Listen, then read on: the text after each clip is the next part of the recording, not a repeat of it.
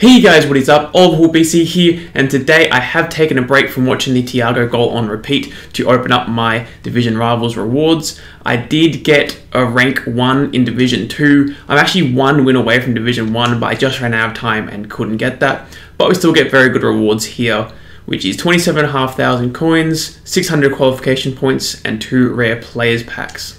I did actually fail the uh, playoffs for the first time this season, so those qualification points are actually very handy dandy. This is the team that I have been using. I just threw together a Portuguese league team to try and get the foundation players, and surprisingly, I actually got three wins, a draw, and a loss, so I was actually doing pretty well.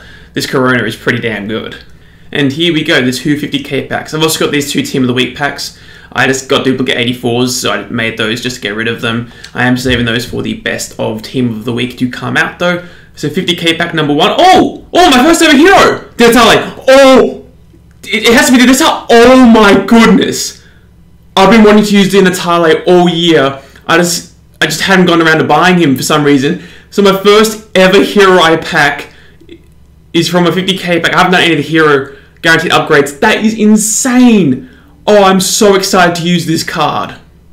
I had no, I was thinking, oh, it's a promo card, and I suddenly realized, wait, there's no promo going on at the moment. That is absolutely insane pack pull. Four star, four star. I believe he's actually down to half a million coins now.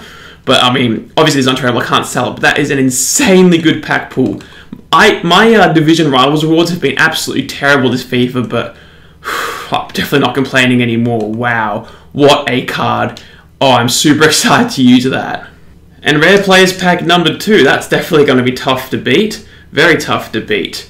Uh, we do have another walkout here, though. Spanish striker. It's going to be Gerard Moreno, so not quite uh, as good a striker, but I'll definitely use him in an SBC at some point.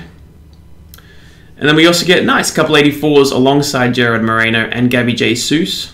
So comment below what you guys got from your Division Rival Awards. Uh, hopefully you got anywhere near as lucky as I did. But that will do it for today's rewards video. Hopefully you did enjoy. If you did, please, the like helps out a lot. If you want to see more videos like this, then please subscribe. And I will see you guys next time.